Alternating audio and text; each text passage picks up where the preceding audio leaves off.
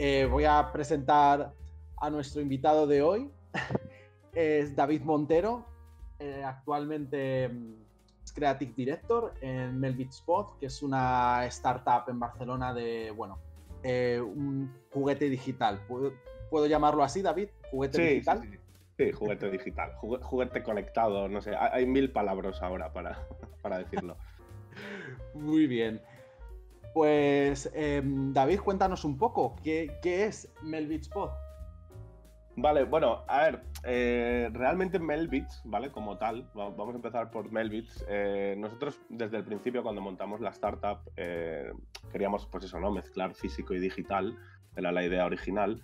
Cuando el producto Melbits Pod ha sido, ha sido casi el último en salir, ¿vale? Porque al final, cuando te metes en cosas de hardware, los tiempos se, van, se van de, de madre, ¿no?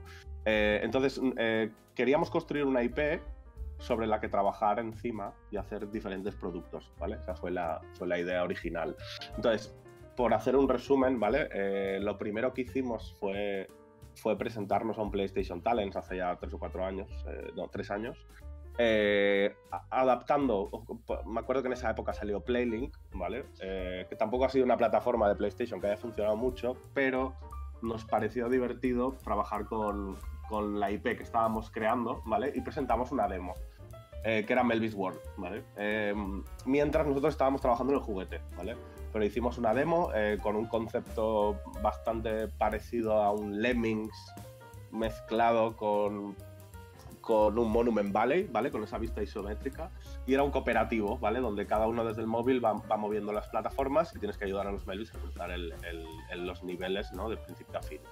Eh, presentamos esa demo y de repente pues ganamos el premio, ¿vale? Eh, entonces dijimos, oye, vamos a, vamos a tocar la parte solo digital también, ¿no? Para, para, tener producto en mercado e ir ganando algo de dinero para ir haciendo lo otro. Después del juego de PlayStation, eh, mientras lo estuvimos haciendo, pues bueno, luego lo hemos sacado en otras plataformas, en Switch y en, Steam, y bueno, en las típicas. Y luego también nos metimos en, móvil, ¿vale? En móvil lo hicimos, en vez de cooperativo, lo hicimos One Player, ¿vale? Que este lo hemos sacado en iOS y Android. Realmente lo sacamos con un publisher chino y aún no ha salido en China, ¿vale? Llevamos cuatro meses de retraso, pero en China sacar un juego es realmente complicado por un tema de, de los ISBN que se llaman, ¿no? Que es como, como que te tienen que certificar de que el juego se puede publicar en China y todo este tema. Y ah, mientras hacíamos todo esto íbamos desarrollando Melvispot. Eh, Melvispot, que es, eh, básicamente es, yo, lo, yo, lo, llamo que es, es un huevo, ¿vale? El, juguete es un huevo, eh, que se conecta a, a, móvil, ¿vale? O tablet, donde el huevo, eh, si, si entráis en la web lo podéis ver, dentro tiene sensores de luz, temperatura y movimiento, ¿vale? Entonces, al estilo un poco Tamagotchi, ¿vale? Tú puedes introducir, eh, para evolucionar los personajes, ¿vale? Tú los tienes que cuidar en la tablet, ¿no? Darles de comer, a dormir, vestir. Y para evolucionarlos, los introduces dentro del huevo, se pone, se pone el huevo encima de la pantalla y mediante un sensor que le pusimos en la base, que es de luz, emitimos como, como unas lucecillas, como si fuera un morse, se introduce dentro del huevo y las aventuras para, para evolucionar estos Melbits son con temperatura, con luz y movimiento, por ejemplo si pones un, un, de la familia de luz, pues si lo pones a la luz del sol o lo pones a la luz de la luna, durante X tiempo el, personaje que se crea es diferente, ¿vale? Si fuera con movimiento lo mismo, ¿no? Si lo dejas quieto, lo mueves o según cómo lo muevas, es como, como si estuvieras incubando un Melbit, tal cual, ¿no? Eh, lo chulo es eso, ¿no? Que eh, nuestra idea era sobre todo hacer algo que fuera físico y digital de verdad, y, bueno, ahí estamos. Salimos en Navidades aquí en España y Portugal como soft launch y el año que viene queremos salir en otros países.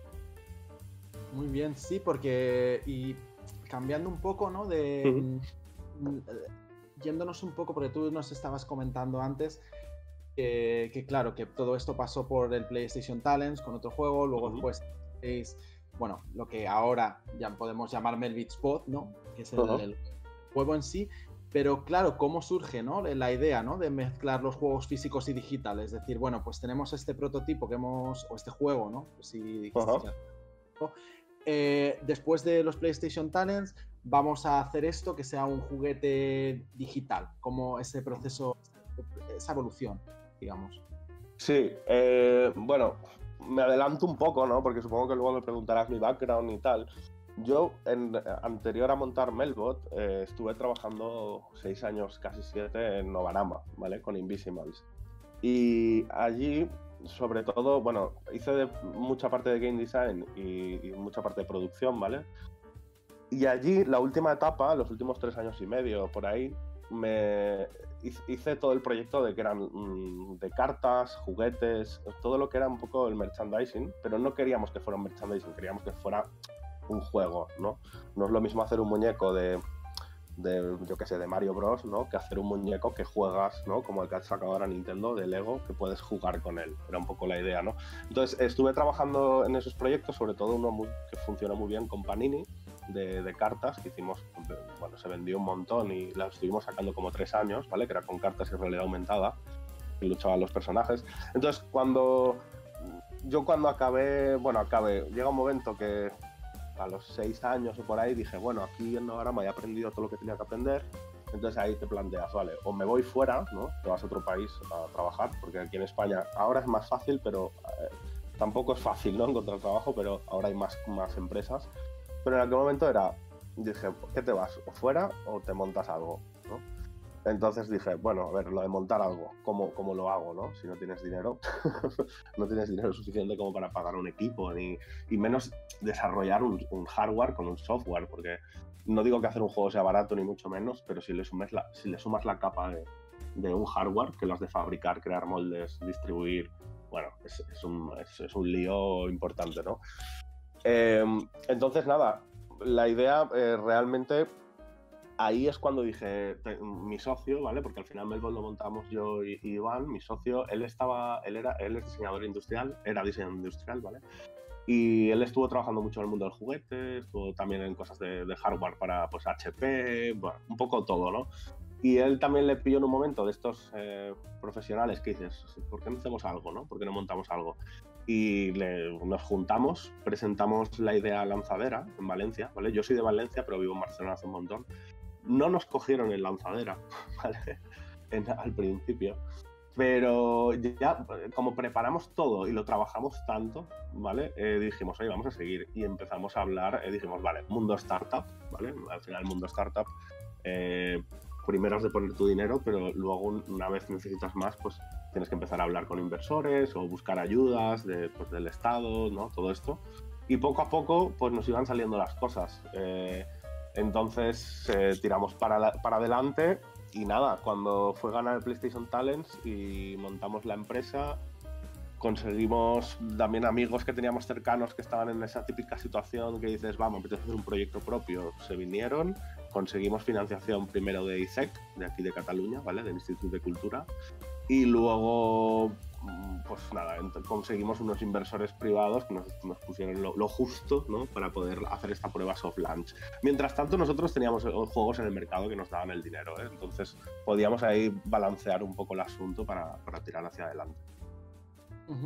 Y nos comentabas antes que, bueno, industrial, bueno, los dos el, lanzar esta, esta idea, el por qué no. Pero, ¿tuvisteis alguna inspiración en concreto a la hora de en algo? Bueno, a ver, para mí Tamagotchi era un ejemplo bastante importante, ¿vale? Eh, el hecho de, mascota virtual, ¿vale? Eh, pensaba que, era un buen... Que, por ejemplo, ahora hay mucho free to play que son mascotas virtuales, básicamente, ¿no? Ahí hay millones. Eh, pero queríamos intentar sacar eso un poco fuera de, pues de la pantalla, ¿no? Entonces, como, como la aventura podía seguir fuera de la pantalla. Entonces estuvimos trabajando con esto, vimos que el tema de sensores, eh, con sensores se habían hecho cosas para, por ejemplo, correr o para, para, medir historias, hay de todo, ¿no? Al final una, una pulsera de estas digitales que te conecta con todo tiene los mismos sensores, pero no, no se había aplicado a la gameplay.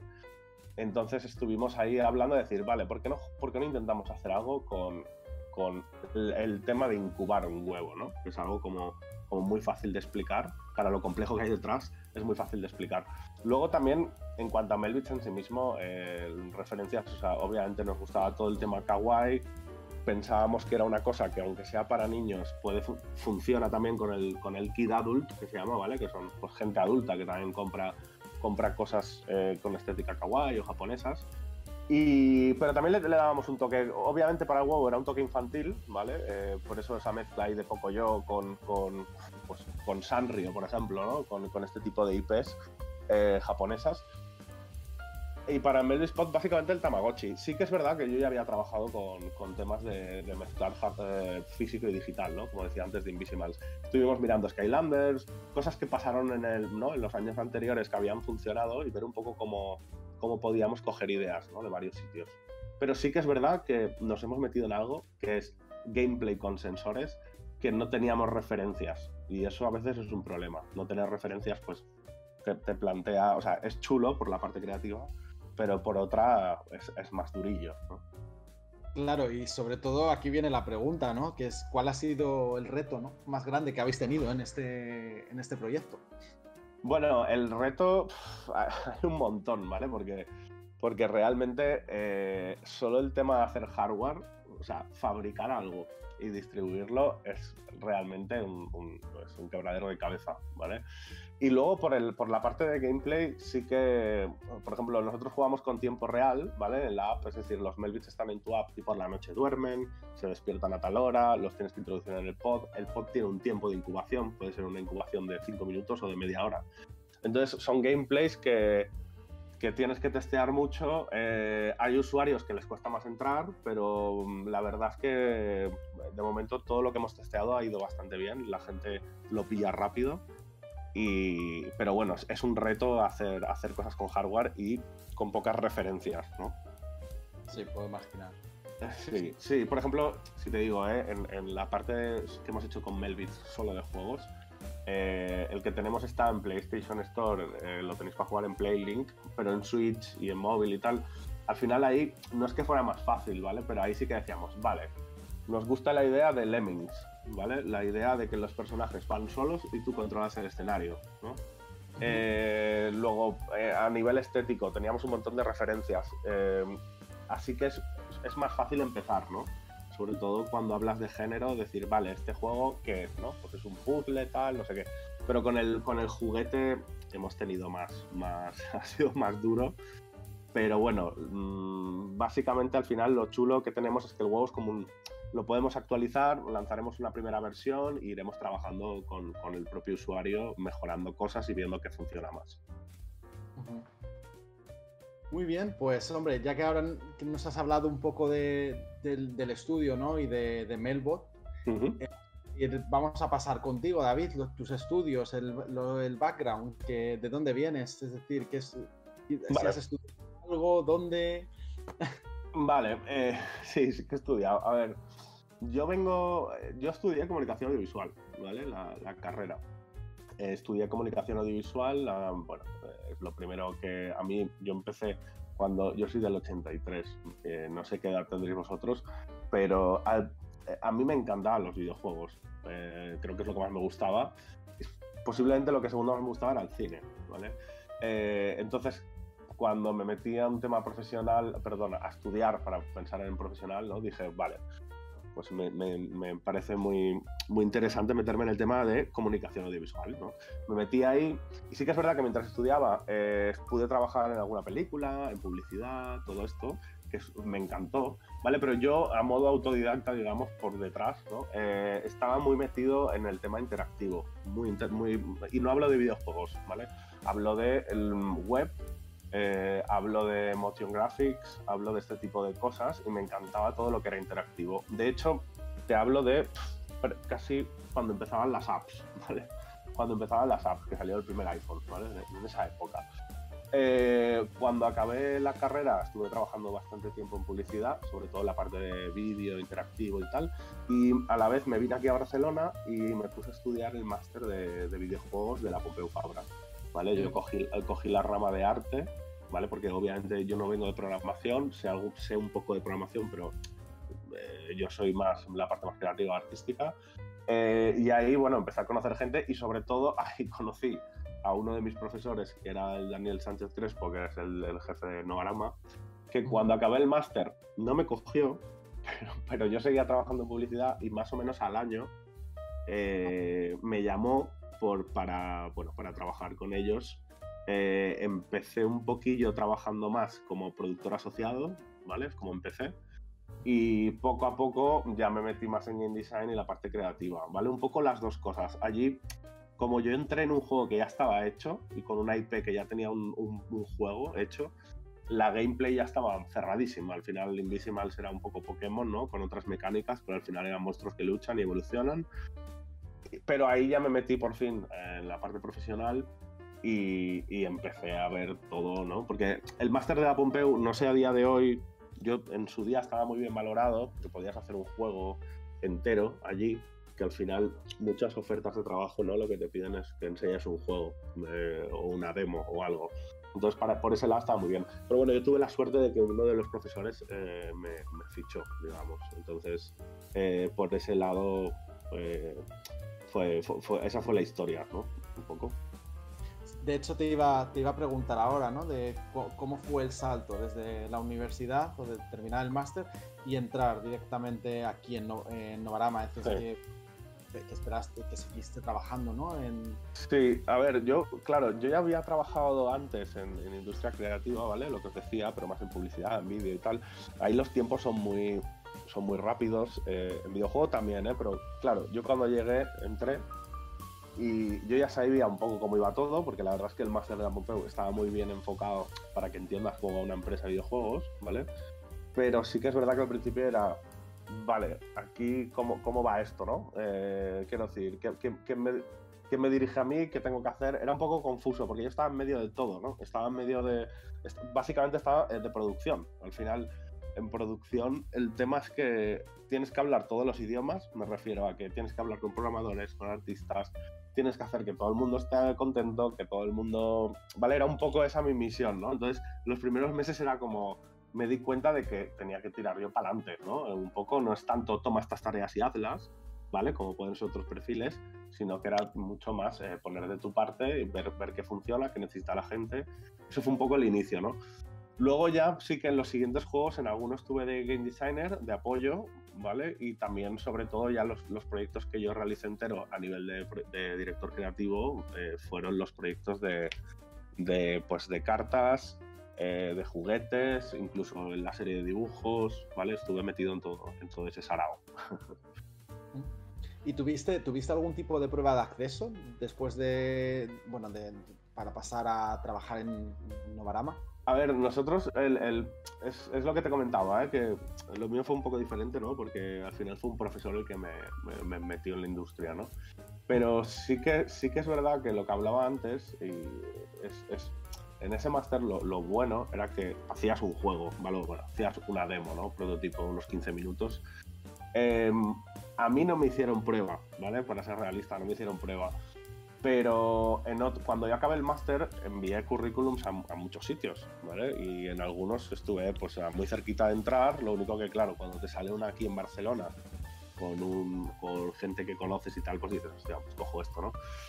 Pero en otros lados, por, poner mi, experiencia, básicamente era, era enséñame la demo, enséñame tu reel y, qué has hecho. ¿no? Luego las entrevistas, pues si, optas director creativo, normalmente no, eh, pocos, pocas empresas, a menos que seas un super senior, ¿vale? Pocas empresas van a poner una oferta de director creativo porque normalmente muchos son jefes prácticamente, ¿vale? Lo que sí que es verdad es que esos jefes siempre necesitan gente alrededor trabajando. A veces le llaman productor asociado, a veces te llaman director creativo, pero eres como más junior, ¿no?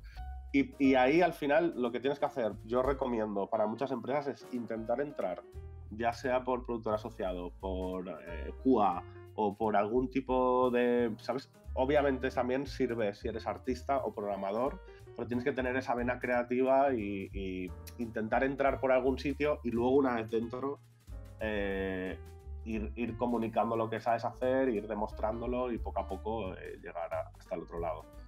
Incluso game designer, supongo, ¿no, David? Sí, sí, sí, sí, por supuesto, por supuesto. Game designer, de hecho, he, dicho programador y artista y yo creo que la de game designer sería de las mejores, ¿vale? Para, para, meter en esa, para entrar, ¿no? Muchas veces yo lo digo, en QA también, ¿eh? empezar por QA, eh, en las empresas grandes es como más fácil la entrada y luego dentro, si es una empresa decente eh, y te lo curras, sueles, puedes subir hacia arriba.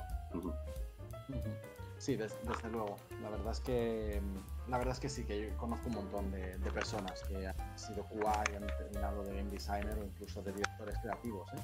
Sí, sí, sí, sí, sí. Y bueno, eh, nos has estado comentando que, trabajaste en varios proyectos en, en Novarama. ¿Cuáles son específicamente? ¿Nos puedes enumerar un poco, contarnos un poco más? Bueno, pues estuve, estuve, eh, yo cuando entré ya acababa de salir el de PSP, ya lo habían sacado, ¿vale? El primero. Entonces, sí, entonces te diría que desde el 2 hasta el final prácticamente estuve en todos. Hicimos eh, PSP, PS Vita, luego y sacaron un juego de PS3, pero Novarama no lo llevaba, lo llevaba un estudio inglés, que la verdad es que el juego, bueno, eh, intentaron hacer una aventura, pero a mí no me, no sé, no, no, no, creo que la remataran muy bien. Y sobre todo yo estuve con las cartas de Panini, que fue un producto que funcionó súper bien, ¿vale? Se llamaba Invisible Desafíos Ocultos y, no es broma que sacamos, se sacó muchísimo, muchísimos ingresos a través de, las cartas. Se vendieron en todo el mundo y funcionaron súper bien. ¿Vale? Ese, proyecto ya lo llevé yo solo. ¿Vale? Eh, luego también, claro, hay otros proyectos que no puedo hablar porque cuando a veces haces service, eh, luego hay, hay proyectos que hemos hecho por ahí que no puedo nombrar, ¿vale? Porque tampoco ya no estoy en esa empresa y tampoco... Pero bueno, trabajamos, hacíamos alguna demos, eh, cosas para Bandai Namco y tal. Ahí no te puedo decir producto porque eran productos que han acabado llamándose de otra manera y no voy a entrar ahí, ¿vale? Que es un poco jaleo. Pero...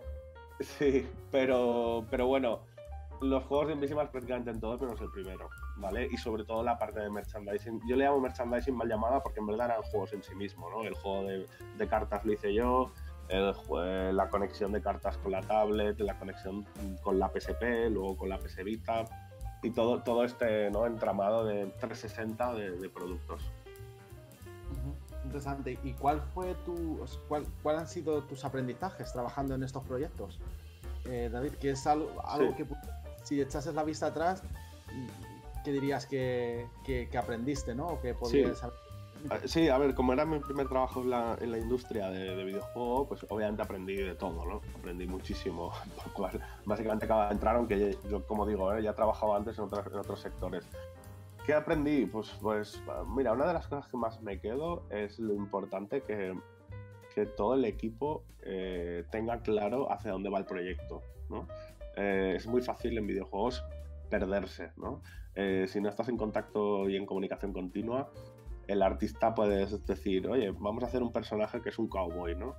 Eh, y si, no vas, si no hablas con él cada día, le das feedback y tal, el artista, claro, que él va a empezar a tirar y, puede acabar haciendo un cowboy que es un marciano y que tiene brazos de robot, ¿no? El programador es igual, ¿no? Entonces me di cuenta de que es muy importante que todo el mundo se sienta partícipe y que todo el mundo tenga muy claro por dónde tirar. Todo el mundo puede aportar, por supuesto, o sea, de, cualquier persona en un estudio de videojuegos puede aportar, pero que todo el mundo sepa, ¿no? Dónde está cada uno y, creo que esa figura, estar ahí en medio de todo, en un equipo muy pequeño, lo, lo chulo en un proyecto indie es que al final si sois cuatro o cinco, pues ahí estás en contacto continuo, ¿no? Y el programador sabe todo, el artista sabe el shader que está haciendo el programa, todo es común, ¿no? Comunicación. Cuando te vas a, a grupos ya de 12, 20 para arriba, ya no me imagino grupos de 100, 200, 300, ¿vale? Todos en el mismo proyecto.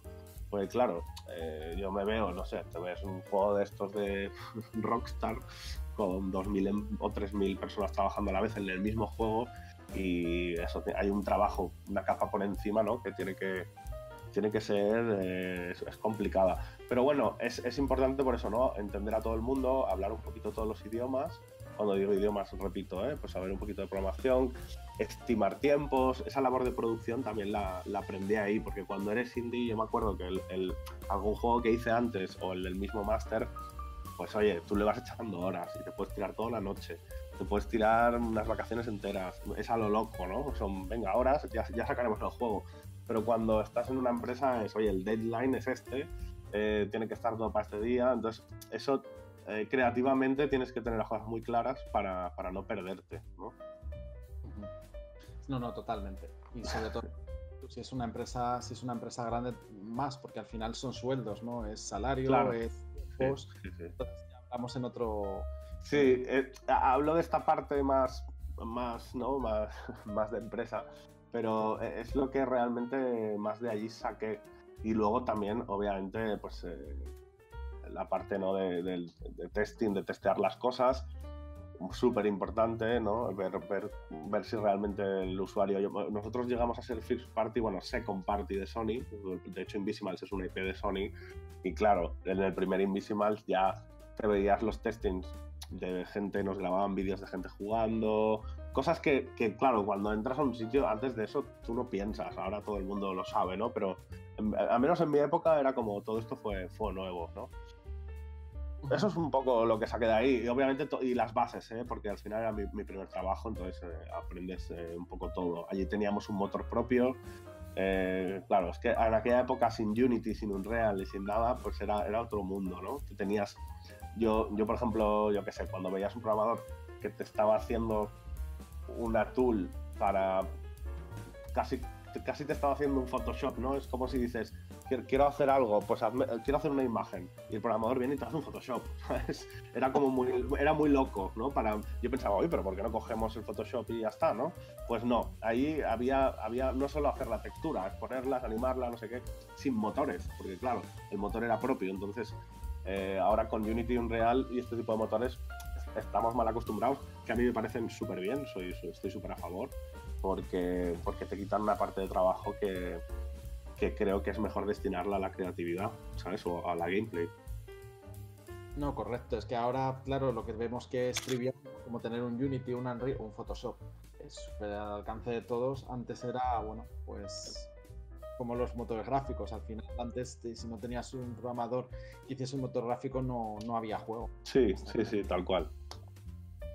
Y además de todo esto que nos comentas, de todos estos aprendizajes, supongo que también aprenderías este, durante tu etapa ¿no? en Novarama, eh, habilidades interpersonales o como se llama ahora soft skills, si puedes algo, alguna que recomiendes o que hayas aprendido, sobre todo para la gente ¿no? que quiera entrar en la industria, ¿qué, qué es lo que más valoras? Eh, ¿Qué es lo que deberían tener? Sí, a ver, eh, son súper importantes. Yo diría, antes, antes decías, ¿no? Para cómo, cómo llegas a conseguir pues yo qué sé, director creativo en una empresa súper grande, ¿vale? Porque yo estoy en una empresa pequeña, en una súper grande, o cómo llegas a un puesto de estos así tan, tan guays, ¿no? Eh, eh, eh, para mí eso es lo que os decía, ¿no? Poder entrar por algún lado y luego ser bueno profesionalmente, ¿no? Pero los soft skills son súper importantes, porque al final estás con gente trabajando y eso es lo que va a hacer que, que, el trabajo en equipo, ¿no? que, que, se dice mucho, pero es que el trabajo en equipo es vital para sacar el máximo rendimiento de la gente, incluso el tuyo propio, tiene que haber un trabajo en equipo, que la gente se lleve súper bien. Eh, los, los, egos, ¿no? Eh, por ejemplo, con los artistas, yo, yo me considero medio artista, ¿vale? Pero, con los artistas siempre el ego, ¿no? El ego de, oye, esto así, ¿no? El feedback, eh, todo esto es súper importante en el trabajo de equipo, que todo el mundo esté contento y que, que, nadie se canse o, está haciendo el proyecto sin ganas, ¿no? Porque a lo mejor le, han dicho que el personaje. Eh, a mí me ha pasado con demos que hemos hecho cuando estaba en Novarama, que te venía el publisher japonés y te decía: quítame los, los protagonistas fuera, son horribles. y, lo tienes que hacer. Eh, lo tienes que hacer, eh, pero siempre intentar transmitirlo bien. y bueno, trabajo en equipo para mí sería vital dentro del trabajo en equipo, lo que os digo, ¿no? Del ego, gestionar, gestionarlo muy bien. uno mismo, ¿eh? Porque un poquito de ego hay que tener, todo el mundo, es importante, ¿no? Pues para poder defenderte, ¿no? Al respecto a algo que tú veas que es de una manera o de otra. Pero en equipo es importante que todos los egos estén bien llevados, ¿no? Y para eso la buena comunicación es súper importante. Eh, otro soft skill que te diría, bueno, yo siempre he dicho que, ser autodidacta en todo es bueno. Da igual que hagas videojuegos, que, que, hagas, que seas peluquero, ¿no? Eh, quiero decir, no, no pares de aprender. si, si no quieres aprender toda la vida, videojuegos no te metas, ¿no? Porque va a una velocidad brutal. Eh, y yo, por ejemplo, toda la parte de programación, lo que sé, o mil cosas, eh, os diría, toda la parte, incluso en su día que trabajé con cosas más de diseño gráfico o motion graphics o tal. Esto, YouTube y programas y programas y probar y jugar y, ir mejorando, ¿no? Por, por, tu cuenta. Esto ya no te lo va a dar ni la universidad ni, el ni, ni un trabajo. Esto tienes que ser un, eh, tiene que salir de ti. Sí, tota-, totalmente de acuerdo, la verdad.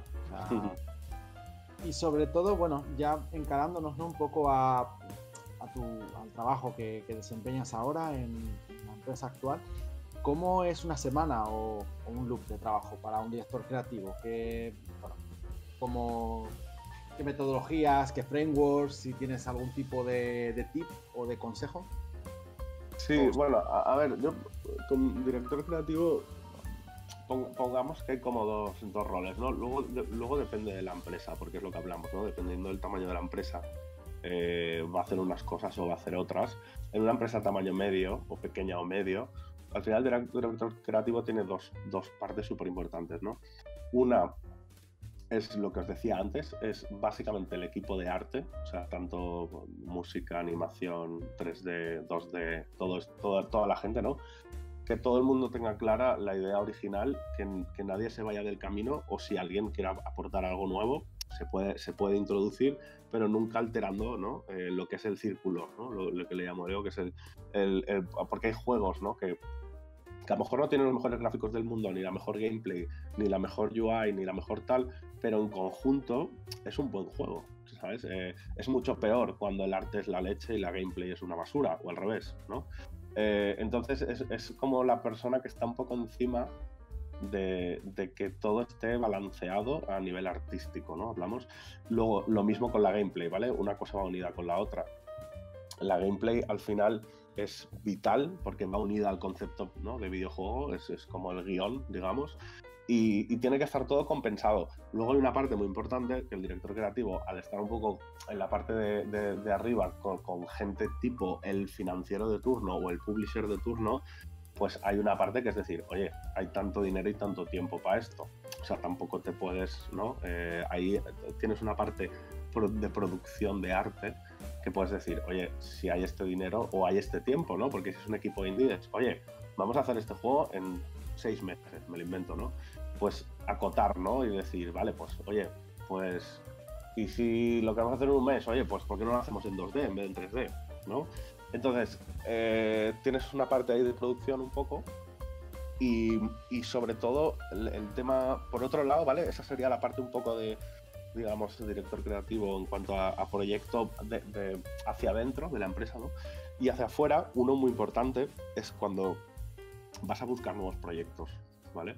Eh, básicamente cuando buscas proyectos, cuando digo proyectos es ir a publishers, ¿no? Básicamente.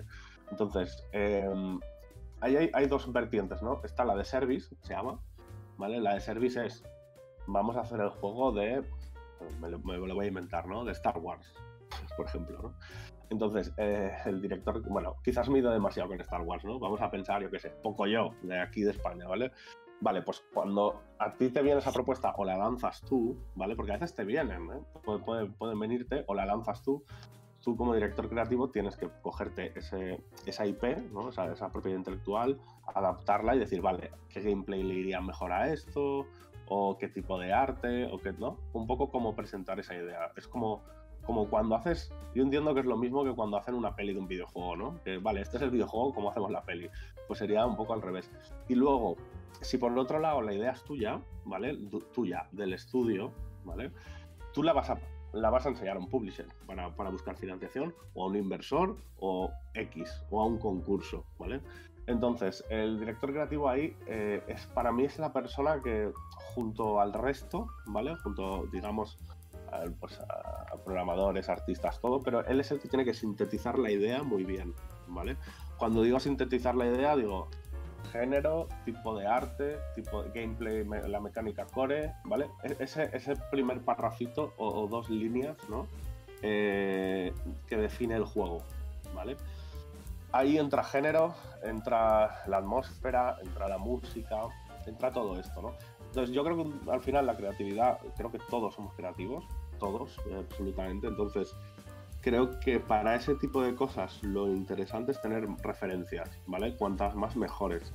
Eh, las referencias son, son, todo el mundo tiene las suyas, pero el director creativo tiene que tener muchísimas, ¿vale? Y cuando digo referencias, tienen que ser, obviamente, si es de juegos, ah, si es gameplay, hablamos de juegos, pero en arte, música, diálogos, eh, hasta el diseño gráfico de una UI o lo que tú quieras, o, el logo que aparece al principio, ahí eh, el director creativo tiene mucho que decir y tiene que exponer referencias ¿no? al artista, sobre todo, porque es lo que os digo, ¿no? A veces coges un artista que es muy bueno, pero nosotros porque somos una empresa que, estamos todos dentro de la empresa, ¿vale? La gente no sale y entra. Intentamos tener el equipo cerrado y, no, no, somos de entrar y salir. Pero si te viene un proyecto de medieval, pues probablemente tengas que coger un concept artist medieval, me lo invento, ¿no? O, un, en, en, animación pasa mucho, ¿no? Tienes que coger a, un, a, alguien que sepa de, pues si vas a hacer unos mechas y robots, pues,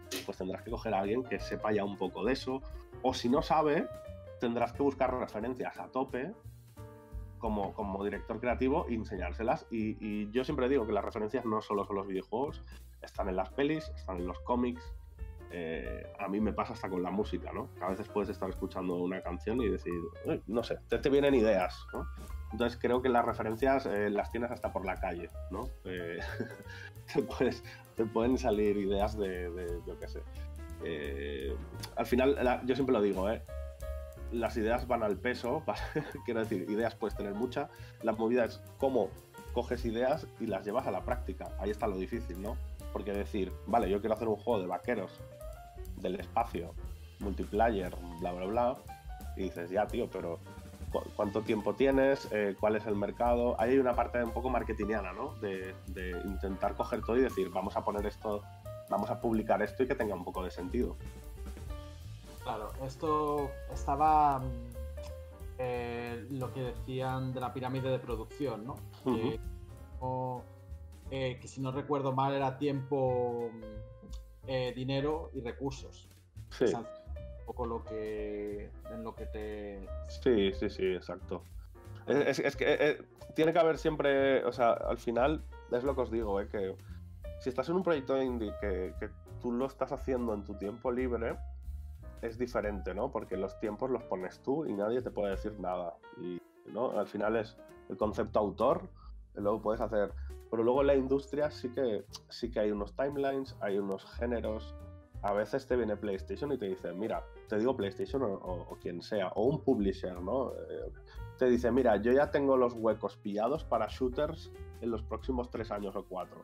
No me presentes un shooter ¿sabes? Eh, tienes que tener toda la posible información para, plantear propuestas que tengan sentido y que, les pueda apetecer, ¿no? Porque si solo piensas en lo que te gusta a ti, probablemente la única manera de que lo hagas es haciéndolo tú en tu tiempo libre, que lo puedes hacer, ¿eh? Y hay gente que le ha salido, pero es bastante lotería eso, porque, porque luego lo has de publicar, la gente ha de ver ese juego, eh, no, es tan fácil, ¿no? Como ponerlo en Steam y, ya está. Eh, hay, mucho trabajo ahí detrás. Y a la hora, bueno, nos comentabas antes que, bueno, muchas veces tienes que ir directamente a hablar con un publisher y a presentarles eh, lo que es el concepto del juego muy, muy, muy em, desgranado, que lo entiendan de una manera simple y sencilla, cómo transmites esa información, por ejemplo, hay gente que utiliza One Pages, eh, que son básicamente ¿no? Eh, una página donde pone lo que estabas comentando tú, ¿no? Género, tipo de arte, pero otros usan a lo mejor moodboards, que son paneles de inspiración.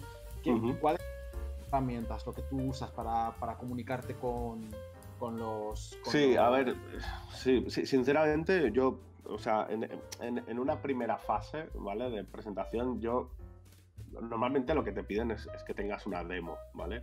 Si esa demo es técnica, es decir, es una demo que no tiene arte o el arte no puedes valorar, no pasa nada, porque a nivel de gameplay está bien.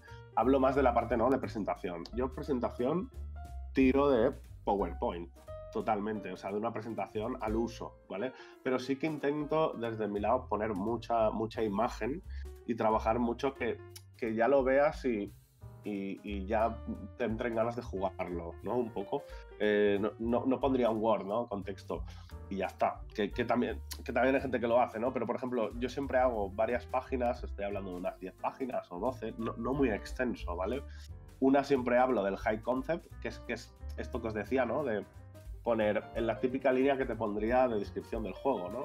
Eh, el género, si es multiplayer o one player, y, y, la atmósfera. Cuando digo atmósfera, que le llamo yo, pues si, si va de la edad media o, es de vaqueros, ¿no?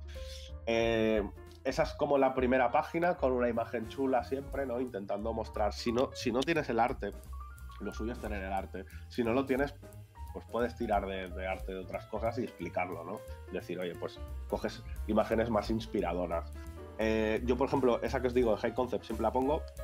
Luego pongo otro de Look and Feel, ¿vale? Eh, en Look and Feel es el estilo de arte, ¿vale? Eh, el in-game camera que estás usando, es decir, si es un first person, si es un cenital, si es un, ¿vale?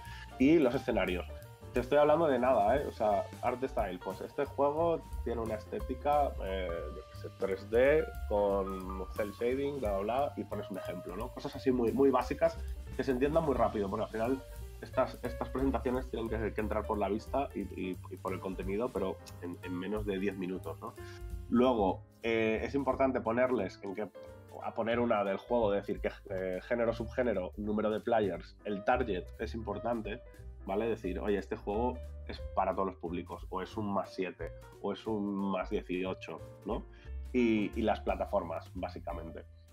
Luego ya entraría en key features, o sea, ponerlos muy claro, ¿no? Cuántos personajes hay, qué ataques tienen, ya dependiendo del juego, ¿no? Porque si es un juego de carreras, ya sería un poco el scope, ¿no? Pues cuántos, cuántas pistas hay, cuántos coches hay, cuántos power-ups. Todo contexto, ¿eh? Es como lo suelo hacer. Y luego, más mm, si hay game modes, o sea, si, hay modos de juego diferentes, los explicas. Y poco más. Con eso ya tienes una idea muy rápida de, de ver si un publisher puede estar interesado. Obviamente, si es vía email o es en una feria, en una feria le enseñas una demo, si es vía email, lo suyo es plantear primero esto y luego si el tío te contesta y tiene interés, entonces le pasas una demo hasta que llegas al punto de, hablar de scope, eh, tarda más, porque ahí ya es presupuesto, ¿no? Pero sobre todo que ellos vean que tienes la idea clarísima, ¿no? Y que tengas la idea clara de para quién va este juego, ¿vale? Que puede ser para gente como tú, ¿eh? O sea, puede ser, tú puedes ser el target del juego, pero está bien que el publisher vea claramente eh, hacia dónde va, ¿no? Eh, hay publishers que está claro que su, cómo son sus juegos, ¿vale? Por ejemplo, yo que sé, un, Devolver Digital, pues eh, a esta gente ya, ya, tienes que ir por un, por un tono de juego, pues yo que sé, que tenga violencia o que tenga humor o no sé qué, este tipo de cosas, ¿no? Pero obviamente no, no le puedes presentar el mismo juego a Nintendo. Cuando hablo, hablo publisher, hablo de que te pagan el proyecto, ¿eh? no, no, publicar en la Nintendo Store, que es diferente, sino que, que a ellos como marca les interese que su, tu juego sea, esté hecho con ellos, ¿no? Claro, correcto, porque al final lo que es la acción ¿no? de vender todo esto y lo que es el documento también eh, se conoce como pitching, ¿no? Al final lo que tú haces es pitchear todo el rato, ¿no? Eh, y, ir apuntando a los diferentes eh, que al final van a comprarte ese producto para que esté dentro de su marca. Sí, y por eso os decía, ¿no? Que me, me enrolla un poco, pero eh, el trabajo de un director creativo, eh, aparte de hacia adentro, ¿no? que se explicaba cómo, cómo te relacionas con el equipo, hacia afuera, uno de tus trabajos es, es hacer el pitch. Porque, porque mola tener a un programador y artista cerca, pero a la hora de vender una idea, pues ahí sí que es importante eh, estar tú, porque al final sueles hablar con gente que son más de marketing o. Porque es como va, los publishers al final son marketing prácticamente. Entonces eh, tienes que explicarles la idea de que se enamoren rápido, ¿no? Claro.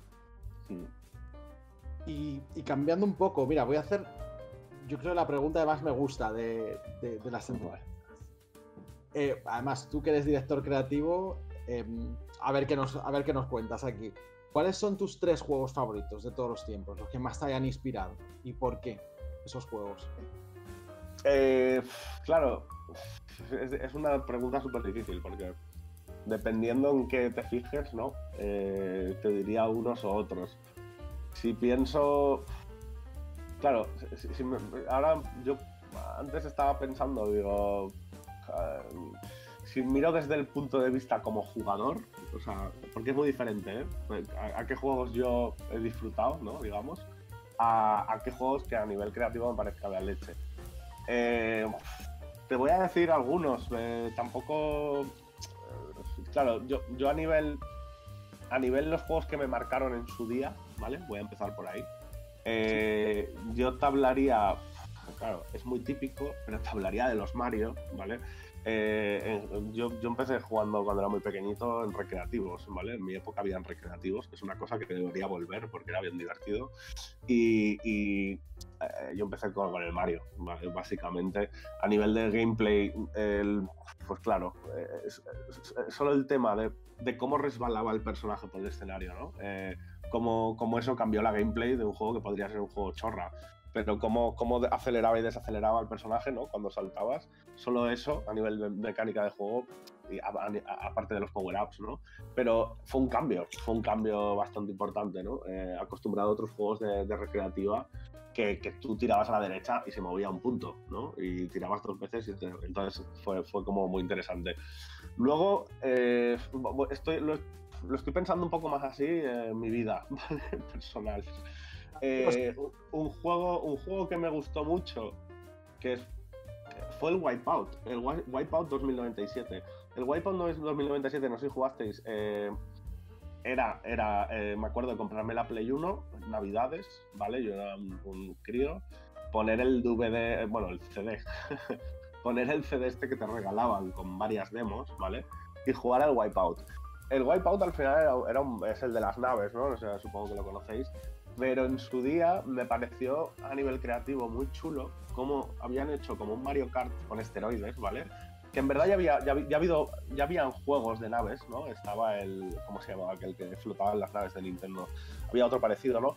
Pero Wipeout me pareció la leche en cuanto a cómo la música, la imagen, toda la estética, ¿no? Eh, desde que empezabas el juego era como un mundo así cyberpunk, pero de carreras, estaba todo muy bien hilado, ¿no? Desde el interface, eh, no sé, me parecía, me parecía chulísimo. Aún, aún pienso que los que han sacado luego, bueno, no están mal, pero ese en concreto cuando salió me pareció, me pareció muy chulo. Y luego estoy tirando un poco, ahora voy a tirar uno de uno muy conocido, pero para mí eh, los grandes Auto, toda la serie en, en, general, me parece, me parece chulísima me acuerdo de. Es que os diría hasta el 1, ¿vale? Porque yo empecé también jugando con el 1 y la versión esta que hicieron de Londres, ¿no? Que el coche se veía desde arriba. Pero como este rollo mafia gamberro, eh, cómo lo habían hilado todo, muy cinematográfico. Eh, y, la sensación de mundo abierto. Ya en el 1, ¿eh? Que, que, que, llevabas la vista desde arriba, que era, que era súper sencillito.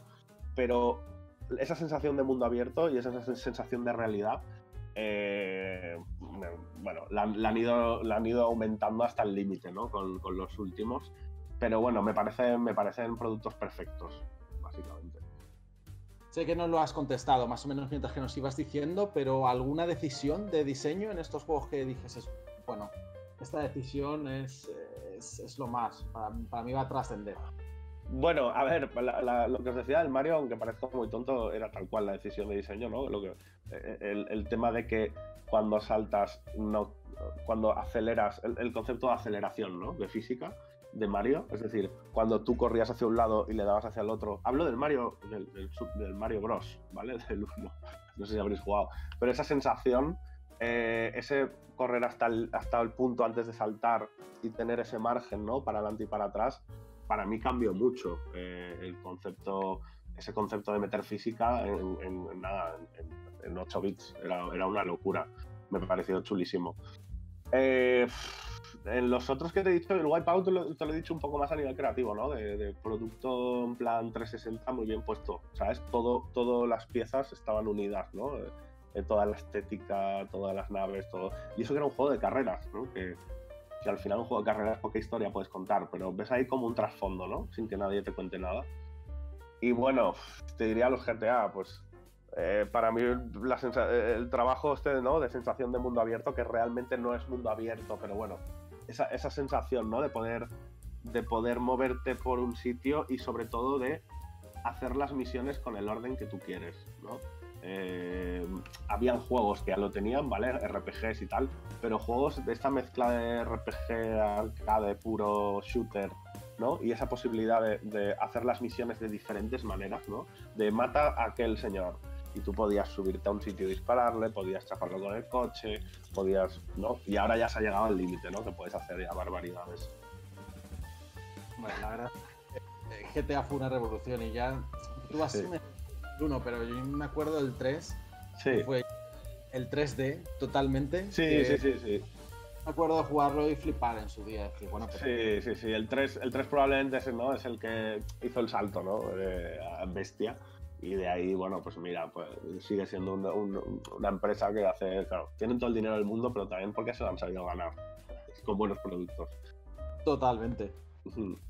Y ahora, bueno, la pregunta al revés, eh, los tres peores juegos son los que consideras que, son bastante mejorables eh, y por qué. Bueno, esto eh, no, me gustan, no soy muy de, O sea, más que decir los tres peores juegos que he jugado, te diría juegos que no me han gustado.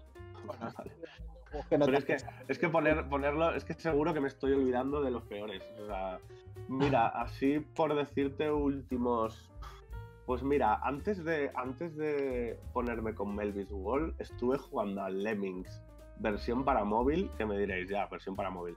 Me pareció horrible, ¿vale? Eh, le habían metido. No soy muy partidario de. o sea, soy partidario del free to play, pero no del free to play tragaperras, ¿vale? Entonces, no me gusta este rollo de. ¿No? De, de obligar al jugador a volver, ¿no? Me, me... Entonces, si ya lo haces en un juego que está pensado así, vale, tú como usuario ya decides si te metes ahí, ¿no? Pero me pareció como raro coger un juego que era de una manera, ¿no? Y destrozarlo. Para mí. Juegos, otros juegos malos en su día.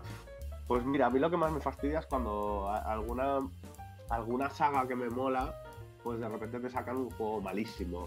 Recuerdo un, recuerdo un Sonic de 2006, creo, que es Sonic de Edon, que me pareció fatal. Era el típico juego que, que tenía 8000 mecánicas y ninguna pulida y era un desastre completo. Eh, creo que era Sonic de Edon, es, es, de esa época, 2006 o por ahí. Horrible. Eh, y luego, no sé, se me ocurren otros, otras sagas, ¿no? Me pasó, yo, yo de chaval me volaba el rollo skate y tal, siempre jugaba a los Tony Hawk y me acuerdo de, creo que era el 5, un juego que sacaron de Tony Hawk que era también horrendo, con los controles horribles. Y me acuerdo que tenía un multiplayer que tú entrabas y había gente haciendo skate y no tenía ningún tipo de sentido. O sea, era, era, una, era como, vale, esto es online, pero ¿qué está pasando aquí? ¿no? Eh, estaba como muy mal construido el juego. Por decirte algunos, ¿eh? seguro que me se me ocurrirían más, pero te digo así, así algunos rápido. Sí, no te, no, no te preocupes. siempre es difícil, siempre es difícil, ¿no? lo del criticar, ¿no? Y decir, porque al ver, siempre hay decisiones buenas y decisiones que son mejorables. Entonces, sí, sí, sí. De diseñar. Pero bueno, vamos a, vamos a cambiar de, tercio y quería preguntarte es eh, algún tipo, algún consejo que, que, des a, bueno, a los chavales que están aquí detrás y que quieren dedicarse a la industria de los videojuegos y quieren entrar ¿no? a esa industria. Eh, Mm, vale. Bueno, a ver, eh, sobre todo, primero de todo, ganas, que seguro que nos faltan, ¿no? Pero hay que tenerlas porque, porque pues lo que os decía antes, ¿no? Hay que, hay que estar súper al día, ¿no? De todo lo que sale. Tanto un artista con los programas nuevos que salen como, como plugins para un programador o como herramientas nuevas que salen, ¿no? Tienes que, tienes que estar ahí con, a tope con eso también se hace difícil a veces la entrada a la industria, pensar que en España ahora hay más, ¿vale? Por ejemplo, aquí en Barcelona sí que es verdad que hay bastante empresa grande de free to play, ¿vale? Tipo King, Social Point, ahora han abierto Bandai Namco, la parte de móvil, eh, están los de Scoplay, o sea, ahora hay, industria, ¿sabes? Eh, al menos aquí en Barcelona hay, de esa parte hay industria, y claro, son empresas que tienen no lo sé, me lo invento, ¿eh? pero tengo amigos trabajando ahí. De hecho, tú, Daniel, trabajas en King, ¿no? Sí, correcto. Vale, sí. Yo tengo, tengo bastantes amigos ahí dentro y claro, son empresas que son muy, muy grandes y contratan mucho. Entonces, guay, porque, porque, porque están en España, ¿no? Y eso es, eso es chulo. Eh, si, queréis meteros más en juego de consola y tal, eh, yo lo primero que intentaría es lo que os decía, ¿no? Si podéis estudiar un máster en el cual podáis hacer un juego, a mí me sirvió mucho, ¿no? Porque estás aprendiendo y a la vez estás haciendo un juego. Sí que es verdad que hoy en día, con la de info que hay, y, si eres una persona autodidacta y le metes caña y te juntas con un buen equipillo, porque pensar que para hacer un juego mínimo, mínimo, mínimo son dos personas, ¿no? Un programador y un artista. Bueno, hay algunos super cracks que hacen todo a la vez, pero siempre, siempre yo creo que es buena idea juntarse, ¿no? Juntarse para hacer cosas es importante porque también hay que echarle ganas y cuando uno está más, más pocho, ¿no? Pues el otro le, ayuda. Entonces creo que conocer gente es vital, ya sea yendo a ferias, eh, amigos que tengáis, eh, canales como este. Al final es, es, muy importante, ¿no? Poder ir haciendo vuestras cosillas. Em, lo que os decía, para juegos de consola, tener algún juego y, sé que hay alguna empresa aquí, empieza a ver, ¿vale? Yo, yo soy de Valencia, y, pero estoy en Barcelona. En Valencia empieza a haber también movimiento indie muy chulo. Madrid también tiene y Barcelona también, ¿vale? Pero pensar que esas empresas suelen ser más como Melbot, ¿vale? Suelen ser empresas que hasta el día que llegue a contratar, o sea, claro que salen ofertas, ¿eh? Nosotros mismos a veces hemos puesto, pero salen pocas, ¿sabes? Salen pocas porque son equipos de 8, 12, entonces es más que se va alguien o que de repente entra un, proyecto nuevo así tal, que entonces cuando pones ofertas. Entonces yo recomiendo mucho el no hacerle para nada ascos a irse fuera, ¿vale? Porque, porque aparte que el inglés es vital, ¿no? En esta industria, si estás empezando y meterte en una empresa grande fuera es más fácil, ¿vale? Porque es lo que os decía, ¿no? Aunque parezca muy, muy loco, las empresas más tochas de videojuegos que penséis. Aquí está Ubisoft, ¿vale? En, Barcelona también tiene Ubisoft, pero es, pequeña en comparación a lo que te puedes encontrar en París o, ya no te digo si te vas a, Inglaterra, ¿vale? Que allí es una locura. Allí hay, hay, pueblos enteros que tienen ahí tres o cuatro empresas de videojuegos gigantes. Entonces allí es más fácil entrar, lo que os decía, ¿no? A nivel de QA, o incluso si eres artista, a lo mejor tengo amigos en Rockstar y ellos, pues muchos estaban modelando ruedas. Modelando ruedas un año entero. pero, pero al año y medio ya están en otra cosa y a los dos años están en otra, ¿no? Hay que pringar un poco, es como en todos los trabajos.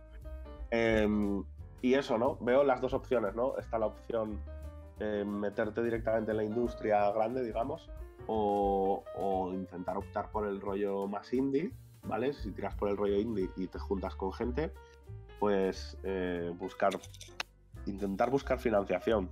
Pensamos a veces que es imposible, pero si vas con un buen planning, eh, no es tan difícil. al menos, por ejemplo, decir, oye, no quiero un millón o, cien mil euros, ¿vale? Para hacer un juego, no. Quiero 30.000 para hacer una demo, ¿vale? Por ejemplo.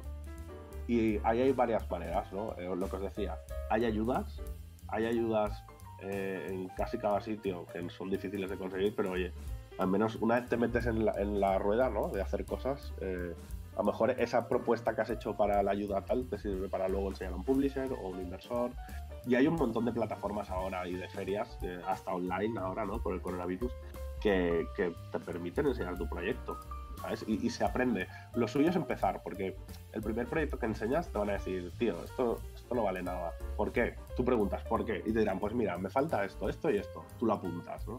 La siguiente vez que hablas, ya no te falta eso, ¿no? Te van a decir, pues mira, me falta esto. Y a la quinta vez, a la quinta vez ya más o menos sabrás presentar el proyecto es normal, es como, es como va. No es imposible, vamos, para nada. Claro, y aquí, y aquí quería aquí quería ir yo también, porque Melbits también hizo un, un, Kickstarter, ¿no? Y que, le sacasteis, sacaste, cómo, cómo, fue el proceso, ¿no? Mira, nosotros el Kickstarter eh, lo sacamos con el plan de lo que se llama preventas, ¿vale? y sobre todo para, testear el mercado, ¿vale? Un poco, o sea, eh, la primera gente que vemos, esto es lo que os digo, ¿no? De probar. Tú haces un Kickstarter y a lo mejor nosotros, por ejemplo, para que os hagáis una idea, aquí en España y en Portugal, que hacemos el soft launch, ¿no? Lo hacemos el soft launch en Navidad. Eh, que estarán en tiendas game, en algunas FNAC, en, algunos, ¿vale? en algunas tiendas físicas. Eh, pero nosotros queríamos saber bien bien quién es la, quiénes son las personas que quieren comprar nuestro juguete. ¿vale? Entonces, para eso Kickstarter era, era una buena plataforma. ¿Vale? Porque tú dices, vale, esto, nosotros decíamos al principio, esto es para padres. Tú fíjate, ¿no? la historia mental, perdón. Esto es para niños, ¿vale? Pero claro, los niños no compran, los niños piden. Claro, tú no tienes una serie de dibujos, con lo cual es difícil que el niño pida el pod porque no lo van en su mente ni existe, ¿no? Entonces dijimos, vale, pues hay que ir, entonces, ¿cómo no lo pueden comprar? Pues decimos, pues vamos a pensar en los padres que jugaban a videojuegos o que juegan, ¿vale? Al final cuando eres padre juegas menos, porque tienes menos tiempo, pero que quiere comprarle algo a su hijo que mole que él hubiera jugado cuando era pequeño, ¿no? Por eso lo de Tamagotchi y tal. Entonces, cuando ya empiezas a, pensar un poco así, lo pones en Kickstarter y lo confirmas, ¿no? Empiezas a ver, vale, ¿quién me está comprando y por qué? ¿No? Es igual que cuando te haces un canal de Discord o te haces un canal de Facebook o lo que, ¿no? Para preguntar y ver quiénes, quiénes son las personas que lo quieren y sobre todo porque puedes poner features y, historias que, que, puedes probar y decir, oye, ¿qué os parecería si hay esta feature, ¿no? Que se haga de noche cuando es de noche en el mundo real, en la tablet se hace de noche. Pues la gente va interactuando. Y nosotros Kickstarter, nos, la gente de Kickstarter teníamos un canal en Facebook, hicimos Facebook, ya sé que es muy old school, pero al final en Estados Unidos, que es nuestro primer mercado, en e-commerce es donde estamos vendiendo, ¿vale? Y allí la gente lo usa mucho y nuestro canal, pues tenemos mil personas, pero son mil personas súper comprometidas y que nos dan ideas, que nos dicen que sí, que no. Entonces va muy bien casi a mitad proyecto ya tener todo eso montado. Porque a lo mejor hay una feature que te parece la leche y a la gente le da igual. Y te cuesta un dineral hacerla. ¿sabes? Em, bueno, lo suelto hay consejos varios, ¿vale? Eh, yo, yo lo último que digo, ¿eh? personalmente, ¿qué hice yo? Intentar meterme primero en la industria, ¿vale? Como puedas, estar. Ese fue mi camino, ¿eh? ¿eh? no digo que sea el mejor, es lo que yo hice te metes en la industria, intentas aprender todo lo que puedas y luego ya conoces la gente a la que puedes enseñar el proyecto, la gente con la que puedes trabajar y lo que cuestan las cosas. Te haces una idea más real, ¿no? Gran, gran, gran consejo, la verdad. Es, que es, así, día a día. Sí. Sí, eh, eh, ya digo, es mi opinión, ¿no? Hay, una teoría por ahí, no sé cómo se llama, lo del, triángulo este, ¿no? De, de primero primero tienes que tener lo básico, es decir, decir, eh, voy a hacer el grande Auto. En plan, a ver, tío, no, no, no empiezas por ahí, ¿no? Eh, con algo que puedas vivir, que puedas alquilarte un piso, ¿vale? Que puedas comer y que puedas estar dentro de la industria y luego poco a poco eh, a lo mejor te encanta esa empresa y estás ahí toda la vida o a lo mejor vas a otra empresa más chula o a lo mejor de repente te juntas con gente del sector y te montas algo. Yo creo que funciona así en la mayoría de casos. De acuerdo. Y si echamos la vista atrás, mm, David, ¿qué, te mm. hubiese gustado eh, saber hace 10 años? Y dijese, ostras, si yo hubiese sabido esto cuando empecé.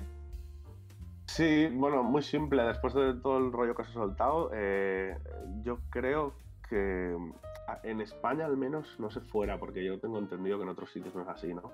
Pero en España te forman mucho para para mandar currículums a empresas grandes, ¿vale? Que, yo os estoy diciendo lo mismo, ¿eh? que es como el primer paso. Pero no te forman para nada para montar un negocio. o sea, eh, que yo no digo que te formen y salgas de la universidad y montes un negocio, para nada. Pero sí has de tener esa visión un poquito de, de, hombre, ¿cómo podría yo ganarme la vida con esto y encima montar una empresa aquí en este país? Porque es lo que hace falta. O sea, si en España hubieran más empresas de videojuegos, todos tendríamos más trabajo y todos seríamos más felices, ¿no? Entonces es lo que hay que promover. Yo me alegro ¿eh? de que venga Bandai Namco y de que venga X empresas aquí a España, pero me alegraría más que, que yo qué sé, que los de Nómada de repente pasen de 20 a 100, que nosotros mismos pasemos de 20 a 50, ¿no? Eso sería lo interesante. Entonces, a mí que me hubiera gustado, eh, contestando lo tuyo, más formación en, en justo lo que os estoy explicando yo ahora, casi 10 años después. ¿Sabes lo que quiero decir? 10 años antes, si alguien me hubiera explicado esto, pues lo, hubiera enfocado de otra manera. Y me hubieran dado, lo suyo es que si estás haciendo un curso o algo, ¿no? Que te formen, o incluso en la misma carrera, que te formen a hacer un proyecto, no, no, a ser, no solo a ser un trabajador.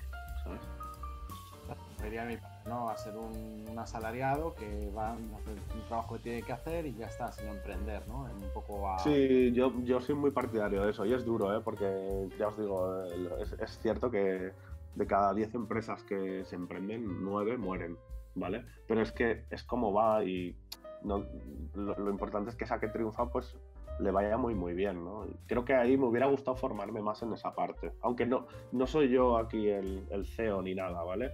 Pero creo que esa parte es muy interesante para todo el mundo, ¿eh? hasta, hasta para alguien que empieza a saber un poco cómo funciona, cómo, cómo, se, cómo entra el dinero y sale, ¿no? Que es, parece una tontería, pero no, es muy importante. Es muy, muy, muy importante.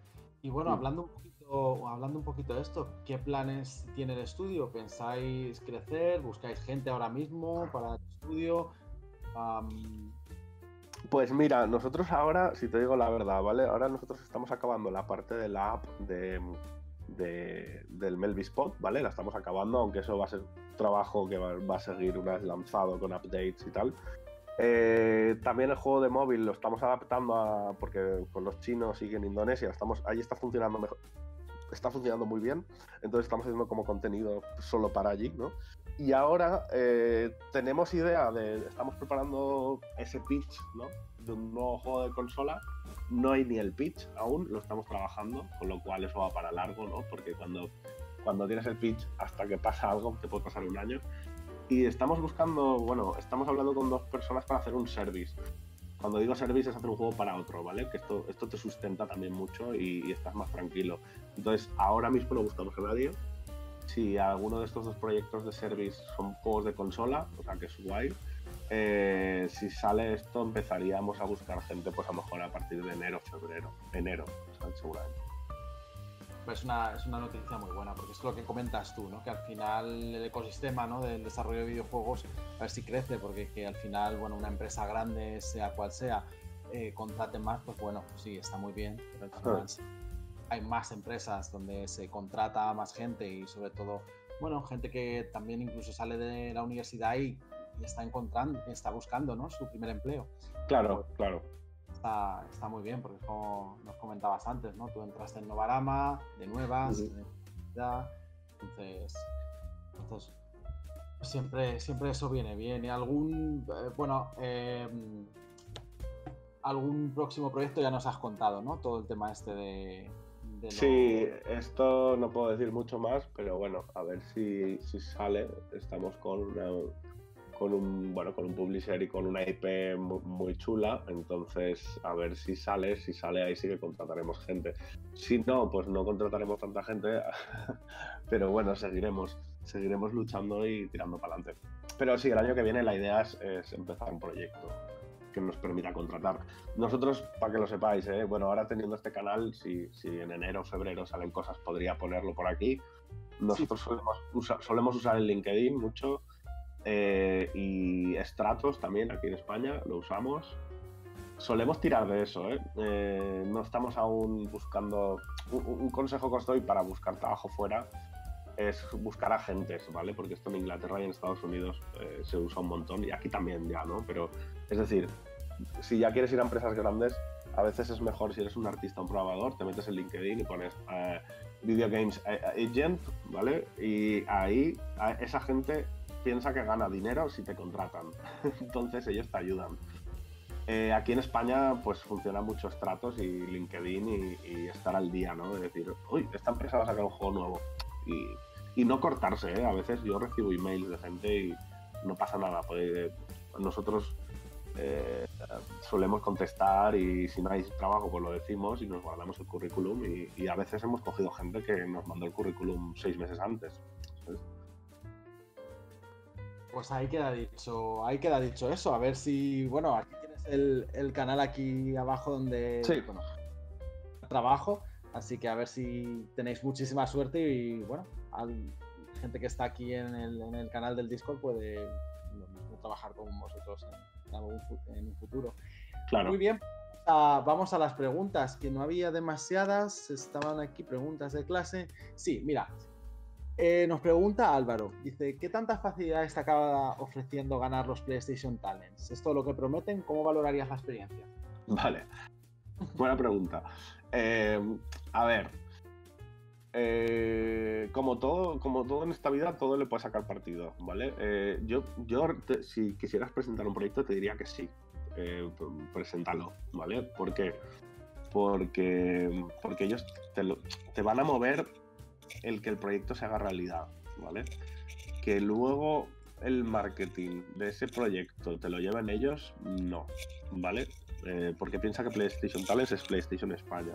Si tú quieres que tu proyecto se mueva en PlayStation, tienes que irte a Inglaterra, como mínimo, ¿vale? Eh, vuelvo a lo de antes. Eh, PlayStation Talents al final es una plataforma de promoción de gente que empieza, ¿vale? Eh, pero si, por ejemplo, ya si tú ganas un proyecto, bueno, te quedas mejor juego o mejor juego X, ¿vale? Porque hay como categorías, pues todo eso suma para que tú vayas luego a buscar financiación, ¿sabes? A lo mejor si tú ganas un PlayStation Talent, luego puedes conseguir un, ENISA o un ICEC, que son ayudas del Estado. O puedes ir un inversor y decirle, oye, mira, que yo he ganado esto.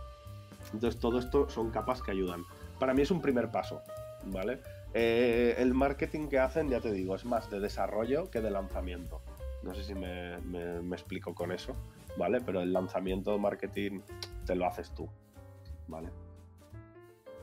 Sobre todo lo que mencionabas antes de las ayudas del Estado, ¿vosotros tenéis algún tipo de, experiencia con, ese proceso? Es decir, sí, nosotros eh, aquí, bueno, no, no, sé dónde estáis vosotros, pero aquí en Barcelona está el ICEC, que ellos tienen el impuesto digital, que está muy bien aquí en Cataluña, es decir, a las empresas grandes les quitan un poquito, de, por ejemplo, yo que sé, a un Google o a un Amazon le quitan un X y eso lo meten en proyectos nuevos. Entonces tú te puedes ir al ICEC y decir, oye, quiero financiación, ¿vale? Para hacer un juego. Siempre te van a, pedir que tú pongas algo, ¿vale? O sea, tú no puedes decir, dame 50.000 euros y yo no pongo nada, ¿vale? Como mínimo has de poner algo tú, pero pueden ser 5.000 euros, yo qué sé, ¿no? Eh, al final depende del scope que tengas el proyecto. Eh, hay gente con 100.000 euros que se va al ICEC a pedir 200, me explico, ¿no? Eh, pero esta es herramienta. Y luego está en los ENISA, ¿vale? Los ENISA son, son del gobierno español, son un poco más coñazo, pero coñazo digo más de papeleos, ¿vale? Pero también se pueden pedir. Lo que pasa es que el, ENISA a veces lo has de devolver en caso de éxito, ¿vale? Es decir, tú imagínate, coges el dinero, te lo gastas, haces el juego y es un desastre. Pues no lo pagas, ¿vale? Porque tu empresa ha muerto. Eh, si hay beneficios, se lo has de devolver. Pero bueno, eso está bien porque es a éxito. Pero, por ejemplo, el IC, que es a fondo perdido, como se suele no, Hay, diferentes vehículos que se llaman, ¿no? Eh, tendríais que mirarlo. El ICEC también tiene algunos, como los que he dicho, es decir, te lo prestan, préstamo participativo, que creo que se llama. Eh, pero es, es, Y luego hay otros a fondo perdido. Eh, cada año lo cambian. Luego, a nivel político, ya sabéis cómo está el tema. Entonces, cada año te cambian todo. lo suyo es meterse en el ICEC, en la página, e ir mirando qué va saliendo. Porque a veces hay ayudas nosotros, por ejemplo, otra que es chula se llama Axio. Claro, yo os digo las de aquí, ¿vale? No sé de dónde sois vosotros, cada uno. Pero hay una que se llama Axio que, es para ayudas para el extranjero, ¿no? Para poder irte a una feria o para poder, por ejemplo, buscar, lo mm, que os decía, ¿no? Yo, yo cogí una que se llama, que era Axio Corea, ¿vale? Y era una ayuda para, para irme yo a Corea eh, con gente de allí a una feria, al G-Star, y luego también a, poder presentar mi proyecto a publishers coreanos. Y te ayudaban y te pagaban, hombre, pues me pagaron, yo diría que el 60 o el 70 de todo lo, que cuesta hacer eso. Entonces está muy bien también. Y van saliendo, ¿eh? A Evi, a Evi también va sacando ayudas. De hecho, ahora acaba de sacar una para quien tenga un prototipo. Eh, si buscáis a evi.org, creo que es, han sacado una para hacer demo creo que son 10.000 euros. Oye, pues buena ayuda es, ¿sabes? para un equipo... y, creo que te piden, creo que te piden para esa, por ejemplo, eh, lo que os he dicho, una presentación. O sea, que ya ves tú, ¿sabes? Que, el canal de entrada es fácil. Y tengo, tengo una pregunta para ti, David, ya que muchas más preguntas por aquí. ¿Cómo, ¿Cómo, te ves o cómo te gustaría verte dentro de, 10 años con, con Melbourne, con, con este sí. Bueno, pues a ver, eh, nosotros queremos seguir innovando ¿no? en esa parte digital y física. Sabemos que eso es lo más difícil para hacer, para poder, es, como cuando más innovas, más, más la cagas, ¿no? Esto es lo que, lo que mucha gente dice. Entonces a nosotros nos gustaría poder seguir haciendo nuestros inventos, inventos locos, ¿vale? Y por otro lado, tener un, poder ir haciendo juegos de consola, que es lo que nos gusta, eh, con publishers, ir haciendo un proyecto cada dos años con eso estamos bien contentos, ¿vale? Nos gustaría crecer como estudio. Estamos en Valencia y en Barcelona nosotros, ¿vale? Y nos gustaría, pues, aumentar un poquito el tamaño, tampoco mucho, ¿vale? No, me gusta tampoco, no, no, somos una empresa que piense en tener 300 personas para nada, sino un tope de 30, ¿sabes? Para mí ya sería una empresón eso, y tampoco, prefiero hacer un proyecto solo, bien hecho, ¿no? Que varios a la vez y todo el tema este, ¿trabajáis entonces a distancia? Por ejemplo. Bueno, ah, sí, pensar que nosotros, claro, tenemos la parte de hardware, ¿vale? Entonces, tenemos aquí en Barcelona, estamos en el edificio Mediatic, ¿vale? Ahí en, en Glorious. y en Valencia está en el Lanzavera, dentro de Lanzavera. Entonces, aquí hacemos todo lo que es software, es decir, videojuegos, puro y duro. Y en Valencia son menos, allí son cuatro. Allí está la parte de hardware y un poquito de marketing también. Sí, eh, trabajamos en remoto, pero eh, los de aquí, aquí somos, ahora mismo éramos, somos nueve. Es que ahora con el COVID y todo el tema estamos trabajando desde casa todos, de momento. ¿Os ha afectado mucho a vosotros todo este sí, Sí, nos afectó bastante, la verdad, porque pensar que hacíamos un juguete, ¿vale? Entonces, ¿qué pasa? Un juguete nuevo teníamos un contrato muy bueno con un, con un, retailer, ¿vale? Un retailer, entiendo que sabéis lo que es, es uno de los grandes, ¿vale? Tienda de juguete de las grandes. Y claro, como se pasó lo del COVID, eh, ¿qué pasó? Que nos dijeron, no, cancelamos. ¿Por qué? Porque no vamos a abrir tiendas o la gente no va a venir a la tienda, va a comprar poco y, y su manera de promocionar el juego era en tienda, ¿vale? Física. Entonces, si las tiendas físicas ellos ven que hay menos, pues eso. Entonces, ahora de momento, nosotros hemos conseguido otro contrato, ¿no? Que os, decía. Eh, pero el grande se, esfumó con el COVID. Pero bueno, poco a poco. Al menos eh, han habido otros que estamos con Coach Media, que son alemanes, y ellos nos han hecho la distribución aquí en, en España. O sea que guay. Poco a poco. Un poco más lento, pero no pasa nada de, hecho, ellos también llevan Square Enix, si no me equivoco. Sí, sí, sí, ellos, eh, Koch lleva un montón de, empresas de videojuegos japoneses. Es, un, es, un, es una buena. ¿no? Sí, sí, sí. Ellos, y lo guay es que venden mucho en Fnac, en, al final nuestro producto, eh, la cajita con el huevo, pues mola que esté en tiendas con un poco de tecnología, ¿vale? No, no tanto a mejor en si, lo pones al lado de una Barbie, no, no, se va a entender. Pero sobre todo vosotros pensáis mucho en el público, en, bueno, eh, asiático, ¿no? El coreano, chino, o es más... Sí, a ver, si te digo la verdad, hemos conseguido los Melbits, hemos conseguido que, guste allí y aquí. Entonces, eh, estéticamente es difícil. Es decir, a, a, los de aquí nos parece kawaii, ¿vale? Y a los de allí les parece que tiene un toque europeo. Entonces es guay porque es, fácil de... Hay, cosas, por ejemplo, si tú te miras los RPGs o chinos, ¿vale? O los MOBA chinos, son todos como estéticamente iguales, ¿no?